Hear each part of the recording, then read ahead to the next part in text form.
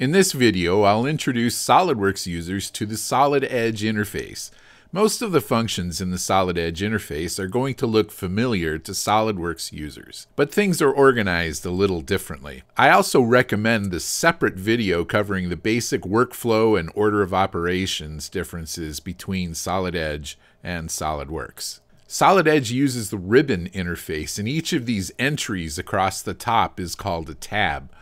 The first tool that we need to take a look at is the File tab. The File tab brings non CAD functions such as tutorials, training, file management, file templates, 2D, 3D print, settings, and so on. You can also access the Solid Edge community where you can find blogs, social media links, and the forum where other users answer questions and share experiences, and much more. You should take some time to look through the options dialog under settings to familiarize yourself with how to set up the software the way you want it to run. In particular, you'll want to look through the general page, the helpers page, units, dimension styles, and annotations. And if you're the CAD administrator, of course, everything is important. Also, notice the search box in the upper right hand corner. That makes it easier to find things when you know what you're looking for. Once you use a template to start a document, you'll see the main interface. Let's go through and identify all of the different areas of the main interface. The Quick Access menu will allow you to access several commands very quickly. Quick Access can be moved lower in the interface if you want to have it closer to the main graphics window. You can easily add items to the Quick Access by right clicking on them in the ribbon and selecting Add to Quick Access.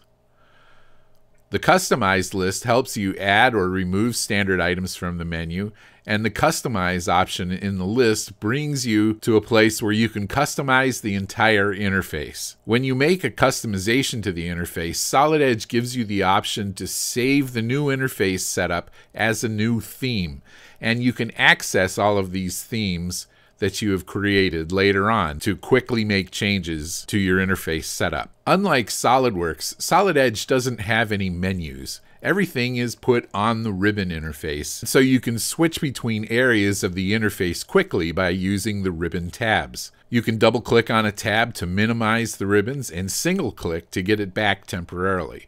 If you double click on the tab a second time, you can get it back permanently.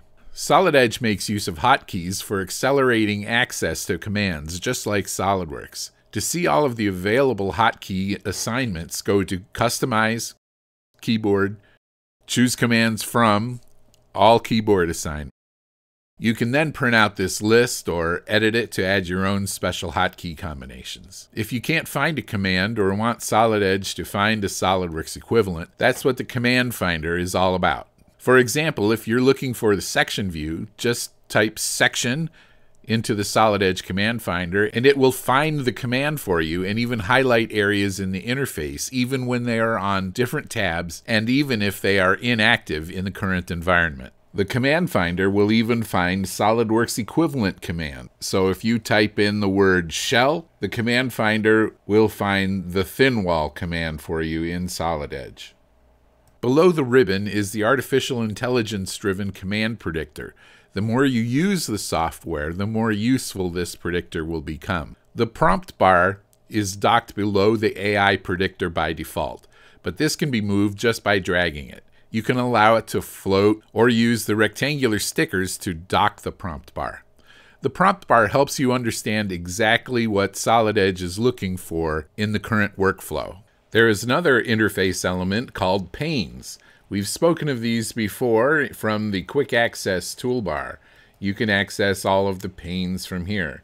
There are several panes that you'll make use of during your time in Solid Edge, including design reference, design configurator, family of parts, family of assemblies, and even elements such as the prompt bar and the Pathfinder itself are listed in these panes. The panes are also listed on the right hand side of the graphics window in what's called the edge bar. If you pin a pane in place, you can access the rest of the panes from the drop down, and you can move the pane around the screen and notice the rectangular stickers around the perimeter of the screen. If you have the prompt bar set up, you can occupy the lower part of the prompt bar window with another pane. This can be very convenient and space efficient. Also, if we switch over to a part window and create a feature, the extrude box that shows up here is called the command bar. This is equivalent to SOLIDWORKS Property Manager. This is where you set up and edit the parameters for features. The command bar can be moved around the screen and snapped into corners, but it doesn't dock like the other windows. It's generally found in the upper left-hand corner. The status bar is at the bottom of the Solid Edge window.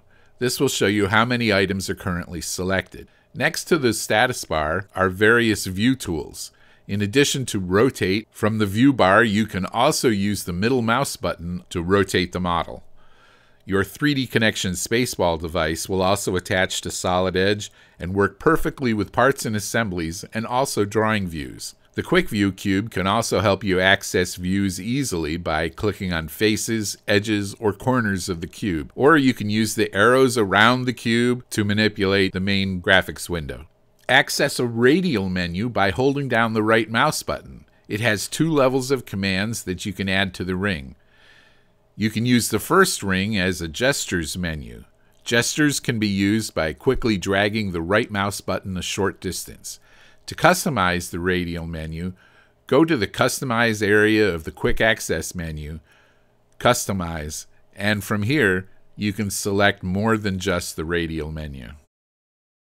When you have multiple documents open, they will show up as tabs on top of the windows so that you can have parts, assemblies, and drawings all open at the same time and navigate quickly and easily between them.